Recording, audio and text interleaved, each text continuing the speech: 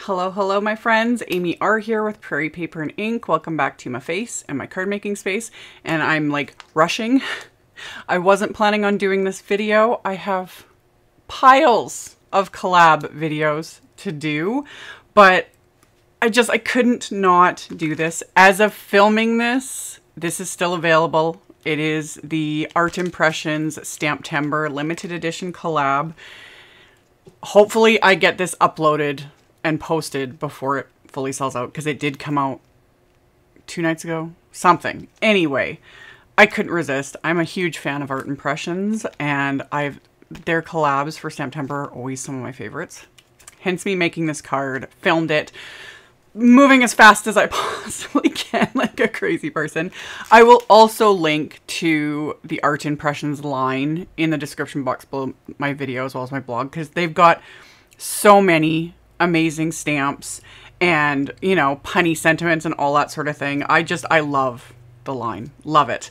And yeah, that's all I have to say because I am trying to do 25,000 things at once, as always. And stay tuned because I will have, of course, more collab videos coming as they're released.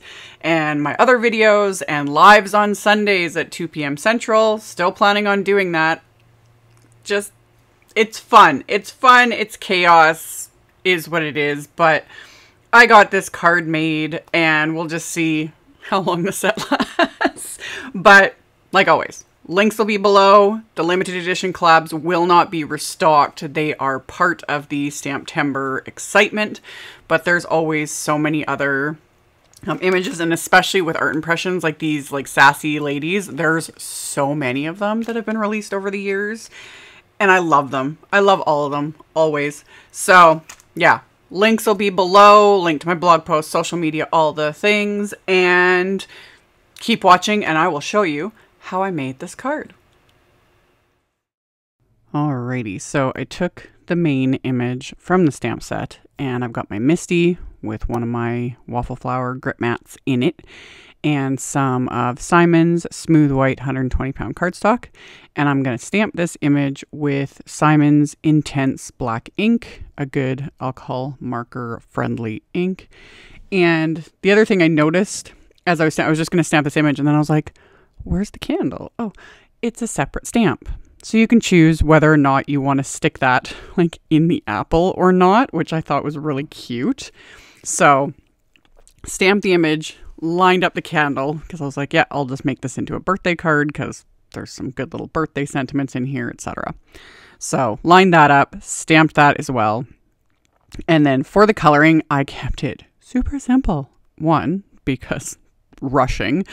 And two, that's another thing I love about um, the art impressions line is their packaging has the images already colored. And I've talked about this before when I've done videos using the Art Impressions images. I pretty much always follow the packaging. It, I, and I, again, I like broken record. I've said this. I love when companies and brands think things out ahead of time, include little guides, labels on stencils, etc., etc. I love that. The less I have to think. I love being creative and coming up with my own thing, but you know, especially when you're in a rush, it is very, very nice when things are done for me. so that's literally what I did. I just I followed the image, and that's another um, thing I love about art impressions is not only are the the images colored, but I like using them too for um I follow the the like where the shading and everything is because I've talked about this with my coloring that I don't generally pay that much attention. You know, I don't really do like light sources, all that sort of thing. I just kind of color however, which is fine. It is fine. But it is nice too sometimes. It's like, ooh, I would never have thought to put like a bit of shadow there or to do it like this, etc., etc. And so then I just kind of follow along and it's like, oh yeah, I like that. I like where that little bit of shading is. And again, don't overthink it. Don't overthink it. So the only thing I really did slightly different um is yeah, I'm gonna add some white gel pen to her her plaid shirt. really, like I, I was like, oh, maybe I'll do some different colors, and I was like, no, don't have time, don't have time to think, don't have time to do nothing. I'm just I'm just following the packaging for the most part, you know. So I used um yeah, various Copic markers. I showed the lids all here on screen. This is all just sped up in editing, but again, it didn't take that long. Thankfully. Thankfully. So, did all of the little um, bits and doodads and whatever, you know, adding little bits of definition and stuff. Again, things I probably wouldn't have thought of on my own, like adding the little bit of lines here and there to the basket. And then I brought out my white gel pen and again followed the packaging for the like highlights on the apples. But then I decided to use it to add the the like plaid detailing to her shirt, which I was like, ooh, really liked that. It just gave it that little extra something, you know? And then a little bit on her shoes because why not? Why not? And then I fussy cut this. These sets never come with wafer dies, which is fine. This was super super easy to fussy cut. I used my still oldie but goodie favorite fussy cut and scissors, which are just these little cutter bee scissors that I have had for I don't even know how many years. And I've talked about this before too. I have more than one pair because they do. All these things. They grow legs and they walk off. So it's always good to have an extra pair. But yeah, I actually included. Usually, I don't ever include the fussy cutting in my videos because 99% of the time, the the the image and I'm holding it right in front of my face. so I'm not on camera screen. But this time I was like, wow, I actually managed to mostly stay on camera. So I just follow around. I move the paper more than the scissors. And I mentioned this in a previous video. I have a very old video on my channel, like fussy cutting stamped images, and I get old, like way back when in the very beginning. You can go look at that. I think I, I think I explained how I did it. I just remember doing that video, and it was like it's over ten years old. Anyway, last little bit to her for my little embellishments. I used my Midas Touch Aqua Shimmer pen. This has gold sparkle in it. It's very subtle, but I added it to the flames of the candle and to her earrings, and I'll show at the end with my little flashlight. Um, again, it's subtle. You can see it better in real life, but it just, you know, you guys know I got to have a little bit of bling bling. So I did all that, set that aside. For my background, I have some Neenah Desert Storm cardstock and the Simon Says Stamp layering apple stencil set. I've done a video using this set. I did um I think they were teacher theme cards and I'll hopefully remember I'll link to that at the end of this video as well if you want to check that out. But I've also said I there's something about oxide inks on Desert Storm cardstock that's just one of my favorite things to do. So I have my big waffle flower grip mat, the Neenah Desert Storm cardstock, and the um, base of that stencil and I used candied apple distress oxide ink and one of my paper pouncers. And then I grabbed my smaller grip mat because I don't have two big ones. Normally I would, you know, wipe off the mat and just kind of flip back and forth. I've shown that in a bunch of videos, but I didn't have time for that. so I just grabbed my smaller grip mat, stuck the card base in there. This is going on the inside of the card. And without using any more ink, just what was left on the pouncer as well as on the stencil and a very light hand, like I'm barely tapping it, which creates a textured effect, which I'm fine with. I'm more than fine with that. Like it just gives it a little extra something. But that's going to go on the inside of the card, so I don't want it super dark because I'm going to write over that. So then the next layer of the stencil, line that up over the Desert Storm piece, and I'm using Lumberjack Plaid oxide ink. Applying that a bit heavier um, it'll be much more subtle. If you wanted a really big difference, you could use like aged mahogany. That's in fact, it, before lumberjack plaid came out, I would have used aged mahogany, but lumberjack plaid is just oh, chef's kiss, live. But whatever look you're sort of going for.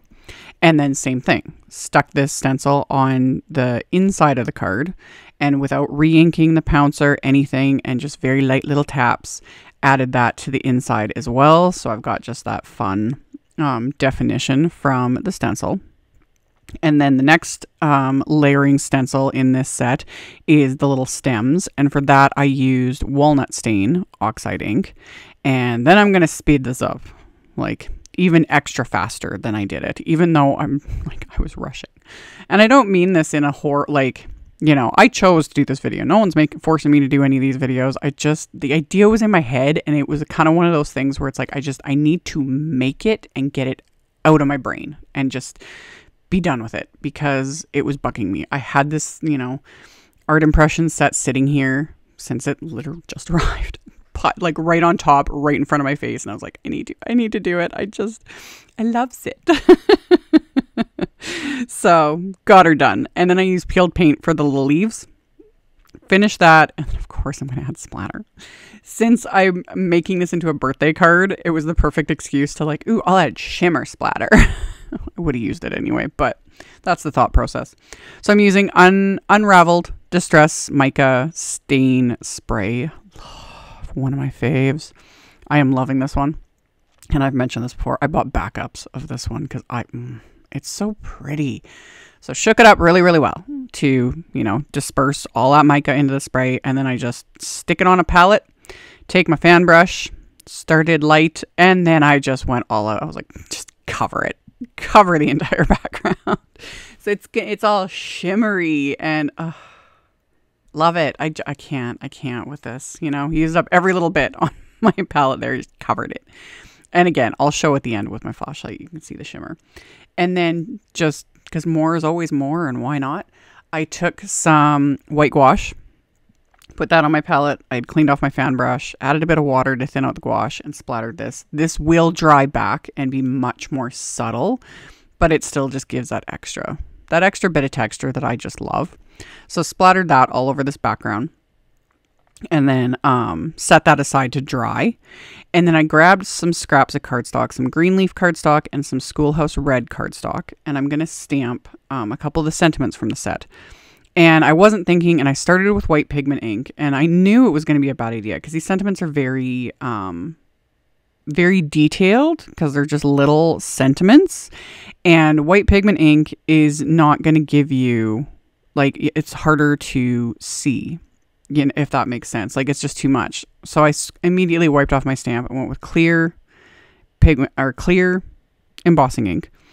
And the first sentiment I stamped on the green, I pressed too hard and I lost all the definition. I could tell as soon as I put the embossing powder over it. But um, my brain stopped. Paper has two sides. So I flipped it over, added the anti-static powder tool, stamped the sentiment again, and didn't press so hard. And then I coated those sentiments with uh, detail white embossing powder. Gonna melt those with my heat tool. Once these are melted, give them a few seconds to cool back off, and then I can wipe off the excess with um, my anti, my little cloth or whatever, the excess anti-static powder. And then the red cardstock sentiment I die cut with a circle. And the other one I die cut with one of Simon's sentiment label wafer dies.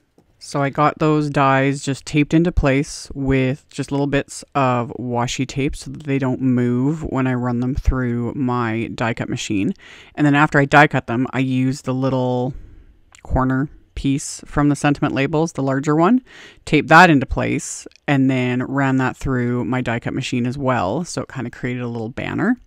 And then my background is dry, so I trim that down so it'll be slightly smaller than my card base. So I trimmed it down to like four inches by five and a quarter.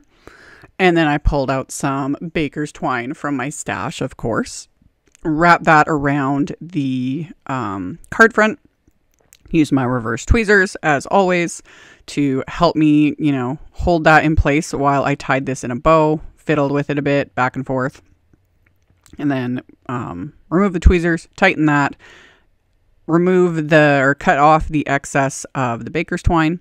And then my little lady here, I'm going to pop her up with some foam squares for one, for a bit of dimension, and two, also to, um, I placed her like where I'm going to put her on the card so I know where to avoid with the foam squares so that the, the um, baker's twine will just go right underneath, you know, and not create weird little bumps or anything like that. So got the foam squares in place, removed the backing, and then popped her onto this card front.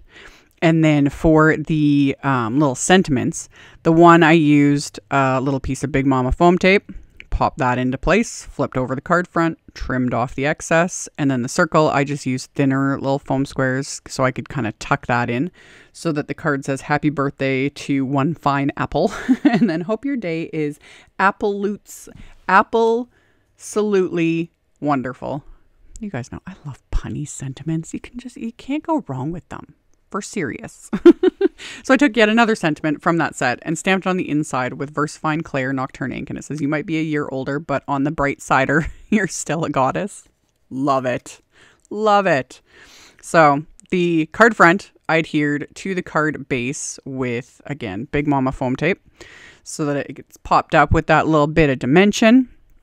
And then, as always, I had matching bling, uh, some Studio Katia moss green pearls. Just kind of sprinkled those throughout this card, just wherever I saw fit. You know, I was just like, oh, it'll look good here, one here, one here. How about three more here? That's kind of the thought process, honestly. So I adhered those into place with little dabs of craft tacky glue. Once those were adhered, this card is complete. I had so much fun making it. I hope you guys enjoyed it. I'm literally like did I get it up in time? Is the set sold out yet? Ah, but again, there's links to other um, art impression set in the like the whole line in the description box below the video because I highly recommend you check it out if you're not familiar with them because they have so many, so many good sets. Love it. And yeah, shimmer and sparkle and apples and craft cardstock and oxide inks and I just I had fun making this. So again, Links will be below in the description box, a link to my blog post, etc., etc., all the things. Thank you all so, so very much for taking the time to watch my videos, for thumbs upping, commenting. The interaction legit helps tons, and I very much appreciate it. Subscribe if you haven't. We're getting close. We're getting so close to 100,000, which is insane to me. I love it. But yeah, I will see you all very, very soon in the next video.